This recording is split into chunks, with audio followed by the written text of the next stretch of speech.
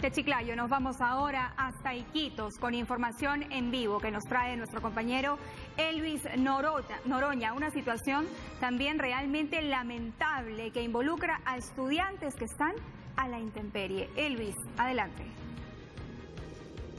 Así es, Perla, muy buenas tardes. Más que lamentable, es indignante lo que vamos a mostrar el día de hoy. Y se trata de que los alumnos del colegio Nueva Unión del sector de Masusa en el distrito de Punchana continúan realizando sus clases fuera del colegio, a la intemperie, en la calle, porque no cuentan con una infraestructura adecuada. Las autoridades les tienen en el olvido. Los padres de familia como también los docentes exigen la pronta construcción de una buena y calidad de infraestructura educativa. Tenemos un informe que hemos elaborado al respecto.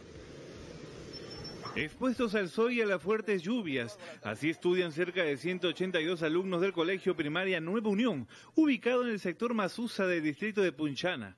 Las constantes lluvias y vientos fueron las causas para que el colegio de estos niños colapse en su totalidad. Mire, yo hice una solicitud al gobierno regional solicitando, he solicitado tablas, listones, clavos, calamina, ¿verdad?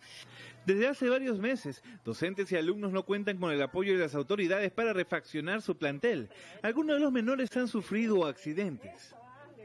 Tenemos, por ejemplo, un aula que es de tercer grado, los niños vienen estudiando acá hasta que sale el sol. Una vez que sale el sol ya se repliegan buscando sombra. Ante el llamado de los padres de familia y docentes, la alcaldesa del distrito de Punchana señaló que construirá un espacio temporal para que los niños no pierdan clases. Vale decir que similar problema ocurre en el Colegio Santa Rosa del Amazonas. Allí los menores continúan estudiando en los exteriores de su colegio, ya que no cuentan con buena infraestructura educativa. El lugar donde estudian los menores es considerado una zona inundable. La crecida de los ríos y la contaminación de residuos afecta la salud de estos estudiantes.